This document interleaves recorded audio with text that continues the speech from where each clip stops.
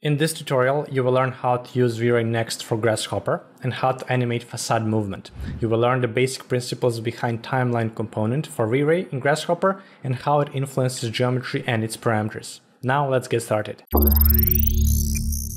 One quick announcement, we currently have a couple of spots available for our Rhino for Architects 2.0 course. If you're interested in a structured step-by-step -step learning approach with personal one-on-one -on -one support and homework exercises, feel free to send your application and schedule your call with me. The link is in the description. The course covers various topics like parametric modeling with Grasshopper, fluid form modeling, architectural animation, visualization, presentation techniques, and much, much more. All right, so we're going to start with the project we did a while back. You can check that tutorial here. Uh, if you want to, to know how this definition is made. It consists of uh, three, three lines, like this is one line, this is the second line and the third line that are actually lofted and then uh, they are divided to create this kind of like uh, like separate panels of wooden panels and uh, we're going to use this definition as an example of how to uh, create our animation with V-Ray. So the first thing that we need to know about this file is that there is an infinite plane that uh, you can uh, add an infinite plane from here from V-Ray and we have this geometry that we created with this definition that's all we need. And now I'm going to go and I'm going to show you the components that you're going to be using. So first off, when you go here to render, you want to use a V-Ray camera. Then you want to use a V-Ray render. This is the main one and also V-Ray timeline. These are some of the most important components that you want to use. And now we're going to go through each one of those. So for example, uh, V-Ray camera. Uh, this is going to uh, give us an angle that uh, is going to show uh, our render. So for example, here, if I rotate here in my viewport, you can see that this is the position that, uh, that this component remembered when we were here. So this means that, for example, if I create a new, uh, if I create a new position, so for example, something like this, and let's say that I want this to be my camera angle. So I'm going to now save this view. I'm going to call it camera one and now if I go back to Grasshopper and if I right click and I say get from active Rhino viewport, that will automatically create the viewport here. So you can see that my camera just changed. And now this is going to be the camera from which uh, my rendering is going to happen. So uh, that's that's how you control the camera and the angle of the of the rendering. Uh, now the next thing that you want to to pay attention to is uh, the light source. So we need to have some sort of a light source inside the scene. So V-Ray that you see here in Rhino is different than V-Ray in Grasshopper. So they work, they can work together, but you, you can watch, uh, look at them as a separate, uh, separate V-Rays. So in this case, we need the light source. So I'm gonna go to lighting and I'm going to take uh, V-Ray light rig dome. And this is a typical uh, component that you would use as uh, as a, a, image. So now we want to have some, some additional options here. So I'm gonna use Boolean toggle. Uh, we want this light to be turned on. We also want it to be visible. And when it comes to texture, this is where you, you would uh, load your HDRI image. So we want to, uh, to type here file path that will give us the option to uh, choose our HDRI image. So I'm gonna right click uh, set one existing file and now I'm gonna set my and I'm gonna choose my HDRI image. Once I picked my HDRI, you can see that now this component is not uh, orange anymore. And then we can uh, change uh, other sliders. So for example, I can put the intensity here to be, let's say 1.5. Rotation, uh, you can probably rotate from, you know, uh, so 360. So let's type that number and you can do the rotation here of the HDRI. And the background intensity, we can also put this to either, if you want this to be visible or no, we would put it to zero, if you want the background to be black. So now we have the light rig and we have the camera. Uh, the next thing that we, that we need in order for this to work, we need uh, to, to have some inputs here. So one thing that you can do here, uh, instead of just right clicking and then putting the parameters, you can right click on the engine and then uh, put here extract parameter and we can do this for each single one so that uh, you have the option to change it uh, in a more you know easy way so you can just uh, click here and change whatever you want When it comes to the output image, we can do the same for the output image. This is the file. And uh, this is of course the, the, the file path where you want to save your, your rendering. So we're gonna double click and we're gonna choose the path where we want to save this. And once I have that saved, uh, we have output resolution. So in this case, if you want to change the resolution, you can change here, uh, uh, set multiple integers. So let me show you this like this. So right click, set multiple integers, and here I can change the resolution. So uh, I can change, for example, let's change this from 1000 to let's say 600. And if I click commit changes, that will be my new resolution of the image. And now uh, when it comes to the camera, if you remember, we, we did a camera here. So I'm going to just connect it to the camera and light rig. Uh, this is light rig. So uh, if you if you notice here, we have all of these three are rigs and all of these three are uh, light sources. So rigs, of course, go on the top and lights go on the bottom. In this case, we have a rig. So we're going to use uh, light rig here. And uh, also one uh, important thing here is that you need to put the geometry that you want V-Ray to recognize. So in this case, we have two geometries. We have uh, the infinite plane, which is currently selected, and we have this geometry uh, that we created with our definition. So, so in this case, let's uh, let's add those geometries. So uh, we need to go here and click on V-Ray geometry, and I'm gonna copy this guy two times. So one is going to be my infinite plane, and the way that this works, I would simply create a geometry component here, and I would click on my infinite plane, right click, set one geometry, and now I have it as my uh, geometry here.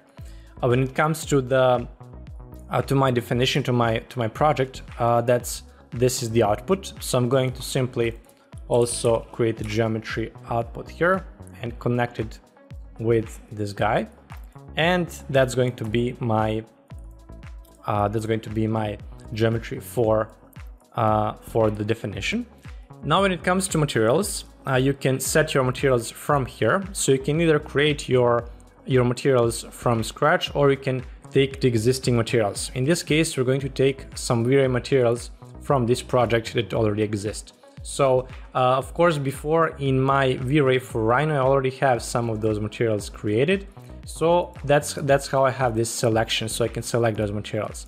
So I'm going to I'm going to uh, copy this guy two times, and one of those materials is going to be for my ground, and one of those is going to be for my uh, definition here for my uh, facade. So first one is the uh, the geometry for the the plane uh, for the ground. So I'm going to uh, pick, uh, for example, this grid ground that I created before, and I'm just going to select it and move it here.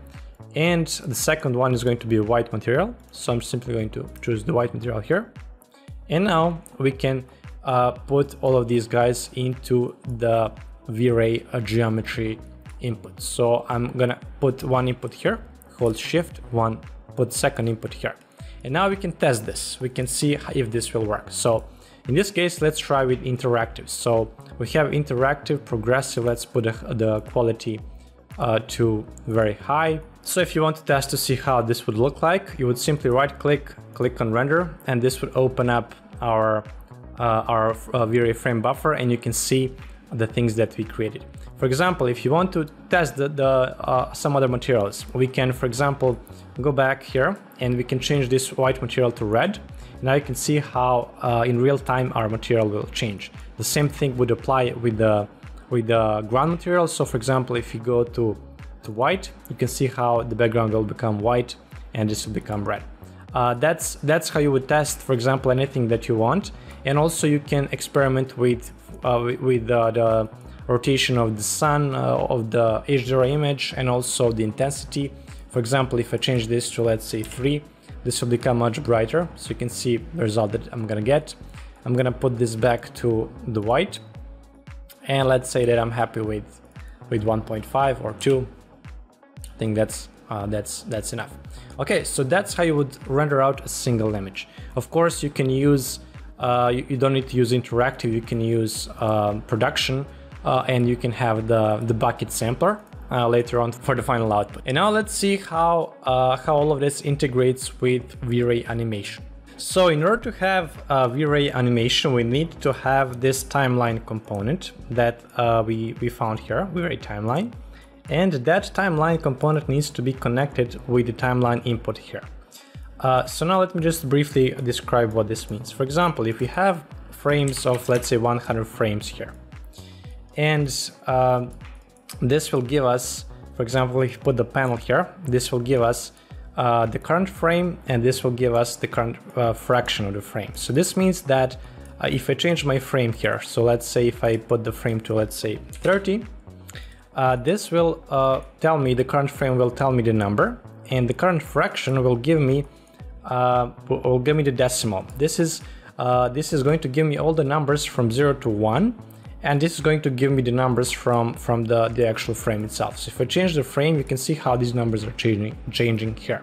So based on these two numbers uh, and of course the frame count that's how we can uh, play around with the animation of, of a certain object. So in our case uh, if you want to animate a certain movement of this facade all we need to do is use these outputs and this frame count input uh, so that it controls uh, what happens in each frame. So for example, in this frame, the geometry is on this number, and then in this frame, the geometry is on this on this number. So uh, you can you can you can look at this as a simple slider, but this slider uh, is actually controlling the animation sequence. So what does this mean uh, in terms of uh, the, this example? So I'm going to take this and I'm going to bring it, uh, let's say, on the other side here. Uh, and this is the element here that we're going to change. So for example, if I take a look at this, at this um, uh, geometry now, and uh, if I, uh, let me just uh, hide this for a second. Okay, so, so you have a better uh, visibility here. So in terms of animation, if you want to change, for example, this number here, if I change this from, from this number to some other number, you can see how this flow of the of the bottom line will change. So in this particular case, we're only changing this uh, this first line. We're changing how it behaves. And uh, for this particular example, we're going to animate that movement. So wh wherever you can put some kind of value, which is from 0 to 1, that's where you, could, you would use current fra uh, fraction frame. So in this case, this is uh, what we would be using. So we would be using this output with this input here, and that would give us a different, as you can see, different results on the bottom. Uh, the, the key thing here is that we also need to connect the frames count with the amount of, of points that we have here. So this is, for example, the, the amount of points. If I change this to 30, you can see how uh, this will uh, this will change. The amount of points will change. So I'm gonna bring it back to 48 that's how much it was. And uh, we want for each frame to have one uh, one uh, uh, change, and that's why this input needs to be the same as the frame amount. So in this case, if I if I bring this to the frame count, now the frame count is the same as uh, as the amount of points. This means that uh, I will not have frames that are repetitive. I will only have frames which are changing. So in one second of animation, we have 30 frames and each, each frame will be different. So in this particular case, all we need to do is connect that, that guy and then we also need to con connect current fraction uh, with uh, this input here. And now, uh, if you can see, if I change, for example, this number, it will change here the geometry as well. And that's how this all works. And now we're actually ready to to play around with the with the with the rendering. The last thing that we need to do is uh, connect timeline here with the timeline here. And now we told uh, V-Ray for Grasshopper, okay, now you have a timeline sequence. You need to export that timeline sequence here. And we just need to change a couple of things here. So we need to change the mode from interactive to production. We want to change the sampler to bucket. We want to change, of course, the quality is based on, on you, but uh, it depends on your hardware. For example, this is going to be rendering uh, 48 uh, frames, so 48 images. So based on how uh, how fast you want to go, uh, you can put this to very high or high. In this case, we're gonna keep it like this. And I'm going to do, before I do that, I also like to do the test rendering. So first I'm going to double click here. This will give me this kind of like, like a zipper. So I'm going to disconnect it for a second and I'm going to right click, click render. And this will just give me an idea of, of uh, how this will all look like. So I want to make sure that I have very good, uh, you know, very good quality. And if I'm happy with the angle, if I'm happy with the lighting, I will keep uh, keep it on. And seems as uh, this is all uh, working great. So we have the resolution, as you can see, 1000 by 600 and uh, I'm happy with the results. So now I'm going to stop it and I'm going to uh, reconnect back the timeline here. And now the last thing that I have is right click, I have render animation option. So in this case, I have uh, the render animation. When I click there, it will it will become like whitish type of, of uh, like color here in the grasshopper window and this means that our rendering is our animation is rendering at the moment and uh, once this is done I'm going to stop it now. Once this is done you will have a folder like this that has all of these images. Uh, and of course it's up to you now to uh, combine all of them into a single animation. Now, if you're interested in watching an extended version of this tutorial where we're going a step further in learning how to animate via camera movement, as well as how to compile our animation in After Effects, you can watch it on our Patreon page and support our work at the same time. With that, you will also get access to all of our extended tutorials and project files. I'd like to thank all of our Patreons. Thank you guys for your support and your tutorial suggestions. Until the next time, take care, hit that like button, subscribe if you haven't already, and turn on the bell icon so you don't miss any future tutorials.